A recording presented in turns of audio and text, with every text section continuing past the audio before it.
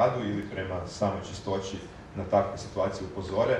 Ono što sam isto tako rekao jest da smo krenuli i dalje idu novi boksevi, 800 je izdano, novih, izdano odobrenja za postavljanje bokseva, deseci su postavljeni što, što se tiče privatnih više stambenih zgrada već na javnoj površini. Isto tako sam najavio da, da smo krenuli sa kaznama nakon skoro 3000 upozorenja jednostavno ne možemo više čekati da i dopustiti situaciju da 80% građana plaća uslugu kroz ZG vrećica, 20% građana to ne radi. To jednostavno nije pravedno prema onima koji to rade, gdje se 20% švercaju. Znači ja bih tu usporedio sa javnim prijevozom. Znači vi možete ući u tramvaj, a međutim i možete se ne kupiti kartu. Time se švercate, ali riskirate kaznu. Tako i ovdje sa otpadom.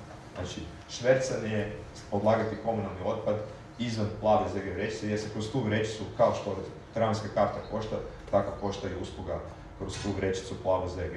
Oni koji ne plaćaju se zapravo švercaju i naravno da za svaku javnu uslugu i u svakom europskom gradu im prijeti kazna. Kazna koja je definirana zakonom o gospodarenju otpadom, koja može biti maksimalno 20, 12, 12, puta iznos fiksne naknade. I ona isto tako nije, ona, nije kazna od 65 eura predviđena za apsolutno sve prekršaje, nego to ovisi opet o volumenu spremnika, ovisi o, o vrsti prekršaja, tako da su to maksimalne kazne. I u tom smislu ono što smo stavili puno veći naglasak sada kroz timove komunalnih redara i radnika čistoće jesu poslovni korisnici. Poslovni korisnici koji često koriste spremnike od građana i tako se ti onda kontejneri prenatrpaju od jednog. Preko jednog dana ili jednostavno dođe novih deset vreća smeća i odjedno su oni